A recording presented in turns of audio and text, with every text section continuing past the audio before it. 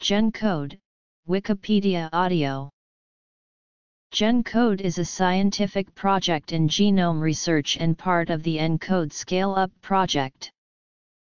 The GenCode Consortium was initially formed as part of the pilot phase of the ENCODE project to identify and map all protein coding genes within the ENCODE regions. Given the initial success of the project, GenCode now aims to build an encyclopedia of genes and genes variants by identifying all gene features in the human and mouse genome using a combination of computational analysis, manual annotation, and experimental validation, and annotating all evidence-based gene features in the entire human genome at a high accuracy. The result will be a set of annotations including all protein coding loci with alternatively transcribed variants, non-coding loci with transcript evidence, and pseudogenes. Current progress GenCode is currently progressing towards its goals in Phase 2 of the project, which are The most recent release of the human gene set annotations is GenCode 20, with the freeze date of April 2014. This release utilizes the latest GRCH38 Human Reference Genome Assembly, and corresponds to Ensembl Release 76. To continue improving the coverage and accuracy of the GenCode human gene set by enhancing and extending the annotation of all evidence-based gene features in the human genome at a high accuracy, including protein coding loci with alternatively splices variants, non-coding loci, and pseudogenes, to create a mouse GenCode gene set that includes protein coding regions with associated alternative splice variants, non-coding loci which have transcript evidence, and pseudogenes. The latest release for the mouse gene set annotations is GenCode M3, also with a freeze date of April 2014. Since September 2009, GenCode has been the human gene set used by the Ensembl project and each new GenCode release corresponds to an Ensembl release. 2003 September, the National Human Genome Research Institute launched a public research consortium named ENCODE, the Encyclopedia of DNA Elements, in September 2003, to carry out a project to identify all functional elements in the human genome sequence. The project was designed with three phases, pilot, technology development, and production phase. The pilot stage of the ENCODE project aimed to investigate in great depth, computationally and experimentally, 44 regions totaling 30 MB of sequence representing approximately 1% of the human genome. As part of this stage, the GenCode Consortium was formed to identify and map all protein coding genes within the ENCODE regions. It was envisaged that the results of the first two phases will be used to determine the best path forward for analyzing the remaining 99% of the human genome in a cost-effective and comprehensive production phase.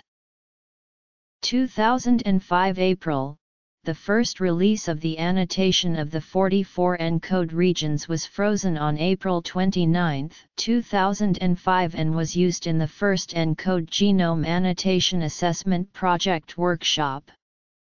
GenCode Release 1 contained 416 known loci, 26 novel CDs loci, 82 novel transcript loci, 78 putative loci, 104 processed pseudogenes and 66 unprocessed pseudogenes. 2005 October, a second version was frozen on October 14, 2005, containing updates following discoveries from experimental validations using RACE and RT-PCR techniques.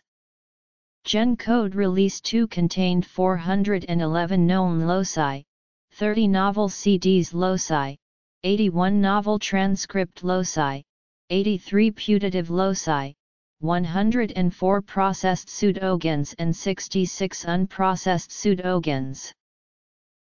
Version 7, Ensembl 62, Version 10, Ensembl 65, Version 20, Ensembl 76. 2007 June, the conclusions from the pilot project were published in June 2007. The findings highlighted the success of the pilot project to create a feasible platform and new technologies to characterize functional elements in the human genome, which paves the way for opening research into genome-wide studies. 2007 October, after a successful pilot phase on 1% of the genome, the Wellcome Trust Sanger Institute was awarded a grant from the U.S. National Human Genome Research Institute to carry out a scale-up of the GenCode project for integrated annotation of gene features. This new funding was part of NHGRI's endeavor to scale up the ENCODE project to a production phase on the entire genome along with additional pilot-scale studies. History 2012 September In September 2012, the GenCode Consortium published a major paper discussing the results from a major release GenCode Release 7, which was frozen in December 2011. The GenCode 7 release used a combination of manual gene annotation from the Human and Vertebrate Analysis and Annotation Group and full new release of the automatic gene annotation from Ensembl. At the time of release, GenCode Release 7 had the most comprehensive annotation of long non-coding RNA loci publicly available with the predominant transcript form consisting of two exons. 2013, 2017, having been involved in successfully delivering the definitive annotation of functional elements in the human genome, the GenCode Group were awarded a second grant in 2013 in order to continue their human genome annotation work and expand GenCode to include annotation of the mouse genome. It is envisaged that the mouse annotation data will allow comparative studies between the human and mouse genomes, to improve annotation quality in both genomes. The key participants of the GenCode project have remained relatively consistent throughout its various phases, with the Wellcome Trust Sanger Institute now leading the overall efforts of the project. A summary of key participating institutions of each phase is listed below. Since its inception, GenCode has released 20 versions of the human gene set annotations. The key summary statistics of the most recent GenCode human gene set annotation, which is the first version that utilizes the latest version of the Human Genome Assembly, is shown below. Refer to the GenCode Statistics README and GenCode Biotypes page for more details on the classification of the above gene set. Key participants Key statistics Through advancements in sequencing technologies, increased coverage from manual annotations, and improvements to automatic annotation algorithms using Ensembl, the accuracy and completeness of GenCode annotations have been continuously refined through its iteration of releases. Methodology. Automatic annotation. Manual annotation. Ensembl slash Havana gene merge process. Assessing quality a comparison of key statistics from three major GenCode releases is shown below. It is evident that although the coverage, in terms of total number of genes discovered, is steady increasing, the number of protein coding genes has actually decreased. This is mostly attributed to new experimental evidence obtained using CAP analysis gene expression clusters, annotated poly-A sites, and peptide hits. Comparison of GenCode human versions. Comparison of GenCode human versions. General methods used for GenCode 7 Comparison of GenCode human versions The general process to create an annotation for GenCode involves manual curation, different computational analysis and targeted experimental approaches. Putative loci can be verified by wet lab experiments and computational predictions are analyzed manually. Currently, to ensure a set of annotation covers the complete genome rather than just the regions that have been manually annotated, a merged data set is created using manual annotations from Havana, together with automatic annotations from the Ensembl automatically annotated gene set.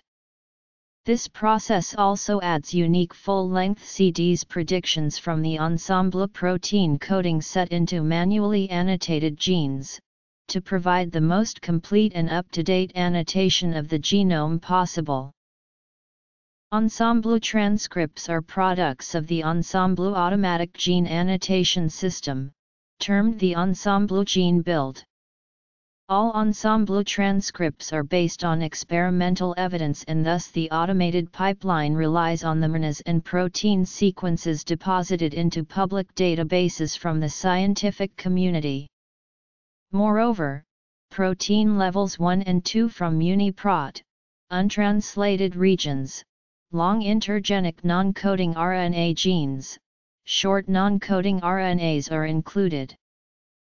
The main approach to manual gene annotation is to annotate transcripts aligned to the genome and take the genomic sequences as the reference rather than the cDNAs.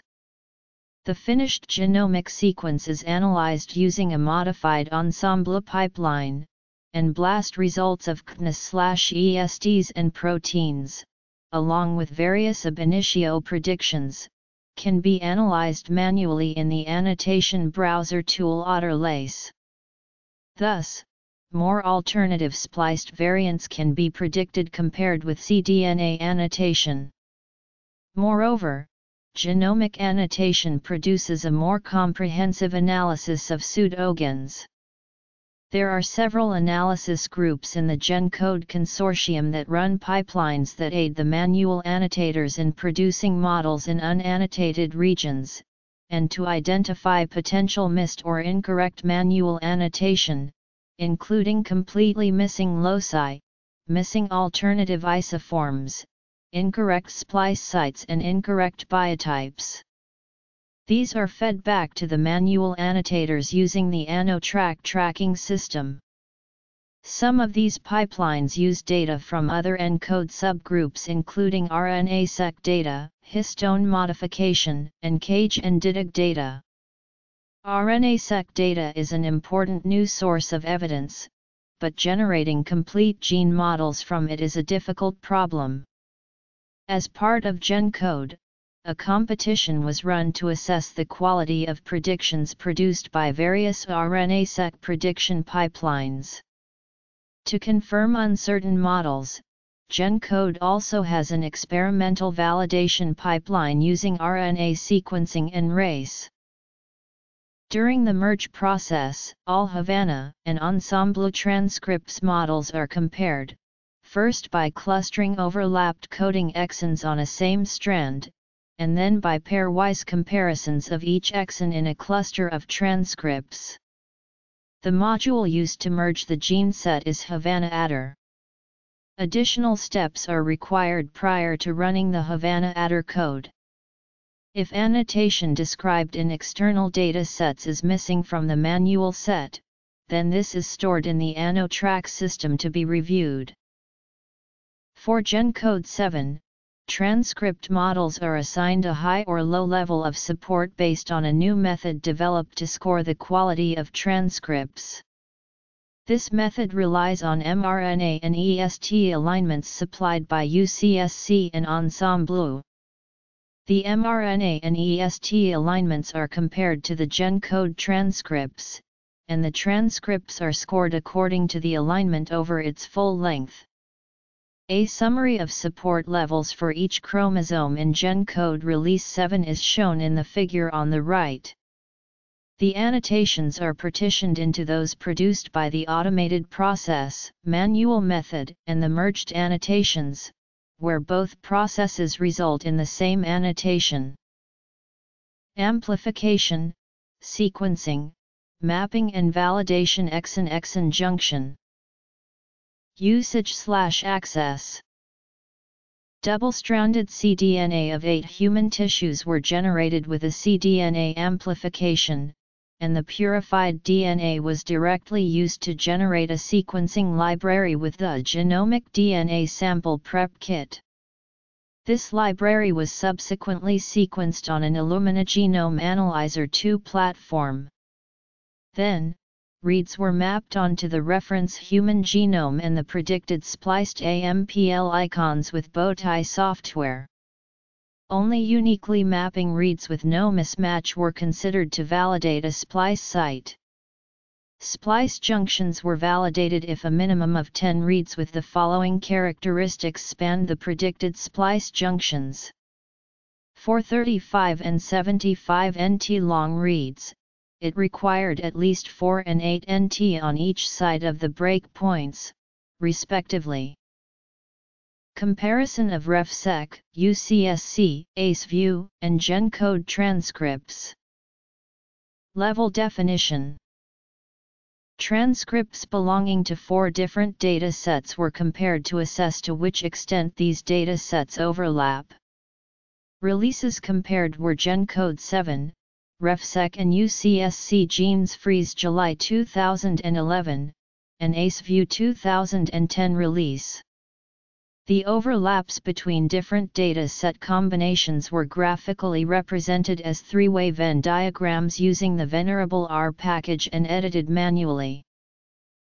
Phylo-CSF analysis Gene slash transcript status definition Biodalliance Genome Browser Challenges Phylo-CSF was used to identify potential novel coding genes in RNA-seq transcript models based on evolutionary signatures. For each transcript model generated from the Illumina HBM data using either Exonerate or Scripture, a mammalian alignment was generated by extracting the alignment of each exon from UCSC's vertebrate alignments. APPRIS APPRIS is a system that deploys a range of computational methods to provide value to the annotations of the human genome. APPRIS also selects one of the CDs for each gene as the principal isoform. Moreover, it defines the principal variant by combining protein structural and functional information and information from the conservation of related species. The APPRIS server has been used in the context of the scale-up of the ENCODE project to annotate the human genome but APPRIS is being used for other species. The pipeline is made up of separate modules that combine protein structure and function information and evolutionary evidence. Each module has been implemented as a separate web service. The current GenCode human gene set version includes annotation files, FASTA files, and metadata files associated with the GenCode annotation on all genomic regions. The annotation data is referred on reference chromosomes and stored in separated files which include gene annotation, poly-A features annotated by Havana, pseudogenes predicted by the Yale and UCSC pipelines, but not by Havana, long non-coding RNAs, and tRNA structures predicted by tRNAscan. Some examples of the lines in the GTF format are shown below. The columns within the GenCode GTF file formats are described below. Format description of GenCode GTF file.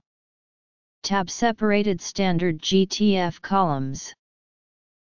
Description of key value pairs in ninth column of the GenCode GTF file. Each gene in the GenCode dataset are classified into three levels according to their type of annotation. Level 1, includes transcripts that have been manually annotated and experimentally validated by RT-PCR-seq, and pseudogenes that have been validated by three different methodologies. Level 2 highlights transcripts that have been manually annotated by Havana only, and also includes transcripts that have been merged with models produced by the Ensembl automatic pipeline. Level 3 indicates transcripts and pseudogene predictions resulting from Ensembl's automated annotation pipeline. Genes and transcripts are assigned the status known, novel, or putative depending on their presence in other major databases and the evidence used to build their component transcripts. Known, represented in the Hugo Gene Nomenclature Committee database and RefSeq. Novel, not currently represented in HGNC or RefSeq databases, but are well supported by either locus-specific transcript evidence or evidence from a paralogous or orthologous locus. Putative, not currently represented in HGNC or RefSeq databases, but are supported by shorter, more sparse transcript evidence. Also, the GenCode website contains a genome browser for human and mouse where you can reach any genomic region by giving the chromosome number and start-end position, as well as by ENS transcript ID, ENS gene ID and gene name. The browser is powered by Biodalliance. The definition of a gene has never been a trivial issue, with numerous definitions and notions proposed throughout the years since the discovery of the human genome. First, genes were conceived in the 1900s as discrete units of heredity, then it was thought as the blueprint for protein synthesis, and in more recent times, it was being defined as genetic code that is transcribed into RNA. Although the definition of a gene has evolved greatly over the last century, it has remained a challenging and controversial subject for many researchers. With the advent of the ENCODE-GenCode project, even more problematic aspects of the definition have been uncovered, including alternative splicing, intergenic transcriptions, and the complex patterns of dispersed regulation, together with non-genic conservation and the abundance of non-coding RNA genes. As GenCode endeavors to build an encyclopedia of genes and gene variants, these problems presented a mounting challenge for the GenCode project to come up with an updated notion of a gene. Pseudogenes have DNA sequences which are similar to functional protein coding genes, however their transcripts are usually identified with a frame shift or deletion, and are generally annotated as a byproduct of protein coding gene annotation in most genetic databases. However, recent analysis of retrotransposed pseudogenes have found some retransposed pseudogenes to be expressed and functional and to have major biological slash regulatory impacts on human biology. To deal with the unknowns and complexities of pseudogenes, GenCode has created a pseudogene ontology using a combination of automated, manual, and experimental methods to associate a variety of biological properties such as sequence features, evolution, and potential biological functions to pseudogenes. The Encyclopedia of DNA Elements is a public research consortium launched by the National Human Genome Research Institute, in September 2003.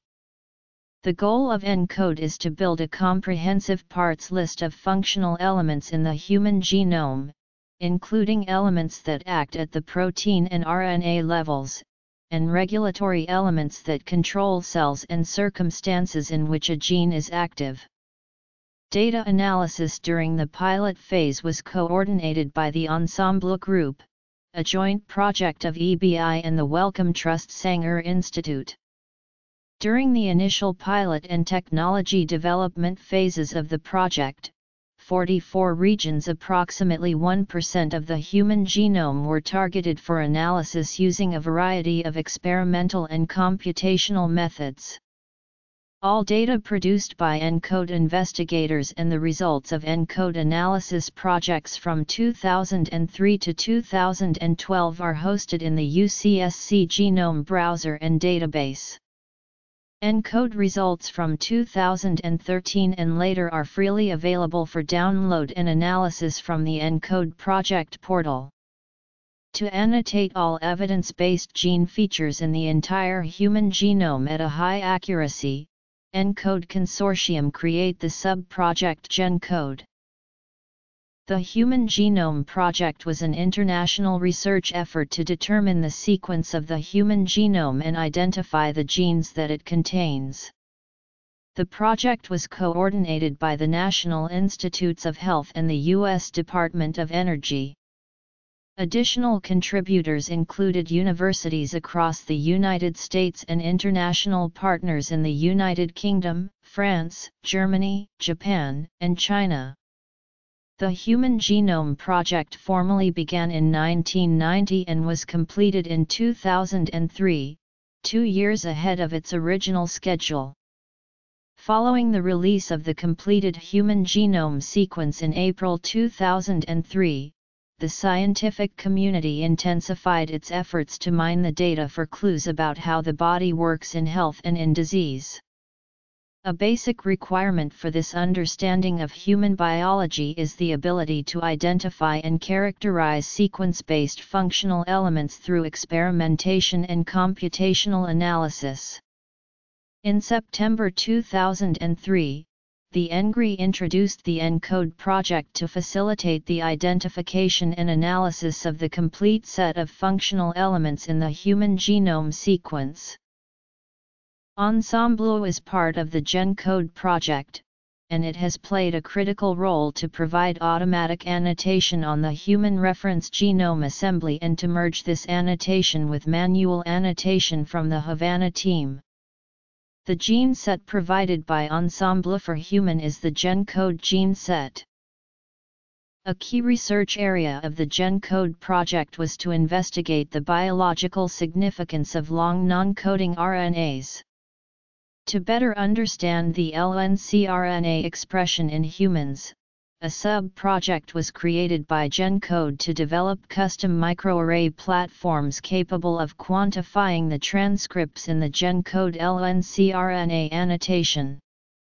A number of designs have been created using the Agilent Technologies e-array system, and these designs are available in a standard custom Agilent format. The RNA-seq Genome Annotation Assessment Project project is designed to assess the effectiveness of various computational methods for high-quality RNA sequence data analysis. The primary goals of RGASP are to provide an unbiased evaluation for RNA-seq alignment, transcript characterization software, and to determine the feasibility of automated genome annotations based on transcriptome sequencing. RGASP is organized in a consortium framework modeled after the EGASP Gene Prediction Workshop, and two rounds of workshops have been conducted to address different aspects of RNA-seq analysis as well as changing sequencing technologies and formats. One of the main discoveries from rounds 1 and 2 of the project was the importance of read alignment on the quality of gene predictions produced. Hence, a third round of RGASP workshop is currently being conducted to focus primarily on read mapping to the genome. Definition of a gene. Pseudogenes Related projects. ENCODE. Human Genome Project. Sub-projects. Ensembl LNCRNA expression microarray design. RGASP